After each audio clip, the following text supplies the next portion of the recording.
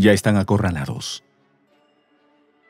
Como un anillo de acero que se cierra cada vez más cerca del corazón de Ucrania.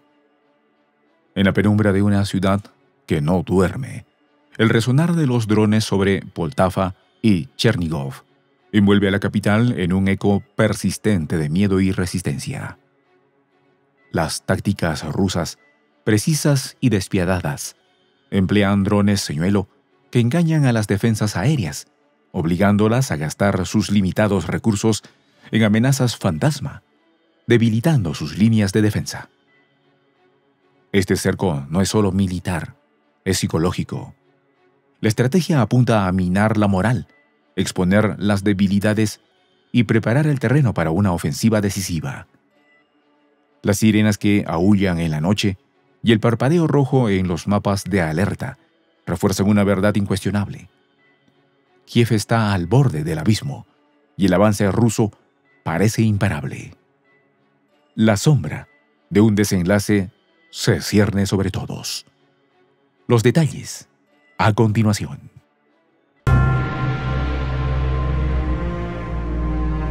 ¿Quieres saber cómo se puede fundar la patria grande? Mira el final del video. Las fuerzas rusas rodean Kiev, desplegando su sombra intimidante sobre una ciudad que resiste bajo el eco incesante de alarmas y el zumbido inquietante de drones que cortan el cielo nocturno. Gran para de las ciudades a su alrededor han caído. En Poltava y Chernigov, lugares que antaño resuenan con la vida cotidiana. Ahora los pasos se apresuran entre refugios y las miradas buscan en el cielo señales del siguiente ataque. Las maniobras militares han alcanzado un nuevo nivel de precisión y astucia. Con drones señuelo, diseñados para agotar las defensas aéreas de Ucrania, su enemigo invisible y multiplicado obliga a la recarga incesante de municiones y somete a las defensas antiaéreas a un agotamiento táctico debilitándola ante un asalto inevitable. Las operaciones rusas no solo buscan el desgaste, sino la supremacía sobre un territorio que se transforma en tablero de estrategia y fuego. Poltava, ya testigo de viejas batallas históricas, ha sido blanco de ataques recientes. Los informes sugieren el uso de armas de largo alcance dirigidas al aeródromo militar, una jugada calculada para despojar a Ucrania de sus recursos estratégicos en un golpe certero y letal. La situación se agrava mientras drones no tripulados atraviesan la frontera de Kherson. Este es otro frente que Ucrania intenta desesperadamente sostener. La región de Chernigov, una vez considerada un bastión de resistencia, se estremece bajo la presión de la avanzada rusa, que recientemente repelió un intento de infiltración en Briansk. Dicha infiltración era parte de un grupo de reconocimiento ucraniano apoyado por veteranos extranjeros. Estas fuerzas, bautizadas efemísticamente como jubilados, constituyen un indicio de cómo Ucrania busca sostener la línea, incluso con elementos menos convencionales. Los mapas interactivos convertidos en reflejos luminosos de la crisis muestran en rojo la mayoría de las regiones bajo el mando de Kiev, indicando el creciente dominio de la ofensiva aérea rusa en los alrededores de la capital ucraniana. Kiev se encuentra atrapada, no solo entre los ataques y las sirenas, sino también en el espectro de su propia estrategia que se encuentra exhausta frente a un adversario que la sobrepasa en astucia y persistencia. En el este, la reciente captura de Selane Druge por las fuerzas rusas ha intensificado las alarmas en Ucrania. Esta pequeña localidad, en apariencia insignificante, contaba con apenas 240 habitantes antes de la guerra. Ahora se ha convertido en símbolo de la tenacidad y avance de la maquinaria rusa. La toma de Selane Druge se une al éxito en Buledar, una localidad de importancia crítica que marcó el mayor logro de Moscú en los últimos seis meses y reflejó la complejidad del terreno que Ucrania debe recuperar. En respuesta, la movilización ucraniana no se ha detenido. El secretario del Consejo de Defensa y Seguridad Nacional, Alexander Litvinenko, ha confirmado el reclutamiento de 160.000 nuevos efectivos para las Fuerzas Armadas. Esto representa un esfuerzo por reforzar las unidades ya desgastadas que, desde el inicio del conflicto, han sumado a un millón y medio de ciudadanos a sus filas. Sin embargo, la eficacia de esta oleada de reclutamiento se cuestiona al enfrentarse a una fuerza rusa consolidada. Las fuerzas de Putin están bien equipadas. Sus movimientos recientes han subrayado una superioridad estratégica innegable, lo que hace entrar en desesperación a Occidente por tratar de conseguir un respiro ante tanta superioridad del enemigo.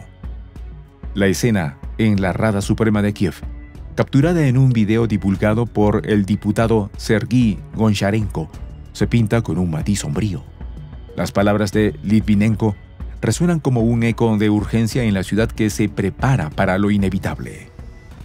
Mediante un breve discurso, pronunció, en la penumbra de una sesión de puertas cerradas, una inevitable verdad. El choque de fuerzas cuyo desenlace podría cambiar el curso de la guerra está en desventaja para nosotros, resaltó el diputado. Los drones rompen la calma tensa de la noche. Los cielos sobre Poltava y Chernigov se llenan de sombras móviles. Esas sombras son los drones rusos, las siluetas metálicas que suman con una intensidad que despierta temores y acelera los latidos. La estrategia rusa, precisa y letal, no se detiene en el frente, sino que busca extender su presencia en territorios clave con golpes quirúrgicos, mientras estos informes que describen la aparición constante de estos enjambres de drones, ningún lugar es seguro. Los drones señuelo, piezas maestras de la guerra asimétrica, confunden a los sistemas de defensa ucranianos, haciéndolos disparar en falso y agotando así sus preciadas municiones. Este despliegue de tácticas complejas resalta el dominio de la tecnología militar rusa la capacidad de Rusia para adaptar métodos que buscan debilitar al enemigo desde dentro es indiscutiblemente arrasadora. Los sistemas de defensa ucranianos, aunque robustos, encuentran un reto abrumador al tratar de discernir entre los drones señuelo y los drones armados. Cada vez que un misil es lanzado para neutralizar una amenaza falsa, la carga de municiones de los sistemas de defensa se reduce dejando a las posiciones críticas expuestas y vulnerables. El mapa de Ucrania, con sus regiones cubiertas de rojo en los mapas de alerta, dibuja un panorama sombrío para el régimen de Kiev. Este color no solo representa ataques inminentes, sino que simboliza la ansiedad colectiva, un recordatorio constante de la presión que la maquinaria bélica rusa ejerce sobre la defensa del país. Las operaciones sobre Poltava y la región de Chernigov, cerca de la mismísima capital, subrayan una estrategia de pinzas que amenaza con cercar el corazón del gobierno ucraniano. Las iniciativas de paz presentadas por Vladimir Putin juegan un papel importante en la narrativa actual del conflicto. La maquinaria militar ucraniana, alimentada por miles de millones de dólares y euros, se está quedando sin combustible. A pesar de las ayudas millonarias, la guerra no puede ganarse con dinero. Mientras tanto, Putin mantiene la postura que está dispuesto a negociar, siempre y cuando Kiev renuncie a sus intenciones de unirse a la OTAN, desmilitarice sus fuerzas y acepte un estatus neutral.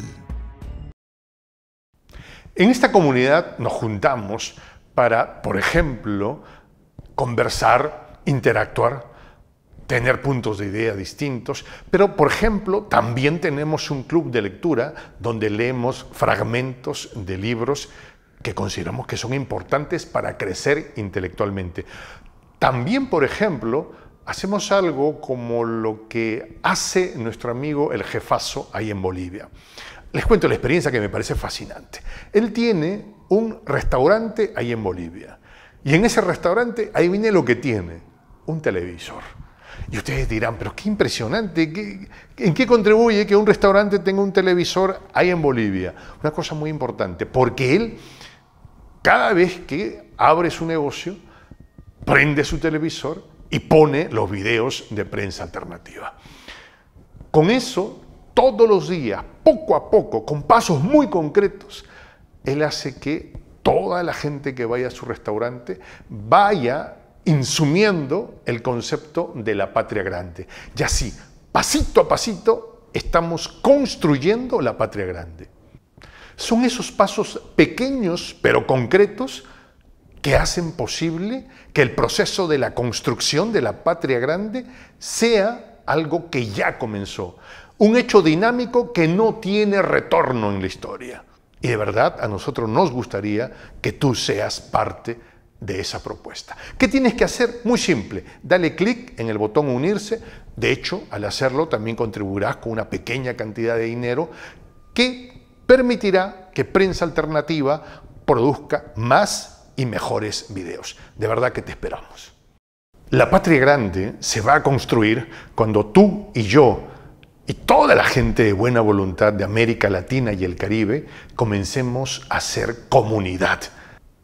¿Cómo lo logramos? Interconectándonos todas las personas de buena voluntad que vivimos en América Latina y el Caribe. Y tienes una oportunidad de hacerlo, uniéndote a nuestra comunidad. Puedes hacerlo haciendo clic en el botón unirse que está en la parte de abajo. Soy el J, Juan José del Castillo, director del canal Prensa Alternativa. Si quieres ser parte de la comunidad de la Patria Grande, suscríbete a nuestro canal. Si es que quieres que te lleguen las notificaciones cada vez que subimos un video, activa la campanita. Si quieres apoyar a nuestro canal económicamente, puedes hacerlo a través de PayPal. El enlace está en la descripción del video. A nombre del equipo de prensa alternativa, me despido con esta expresión en el quechua milenario, Tupananchis Kama, cuya traducción es hasta volvernos a encontrar.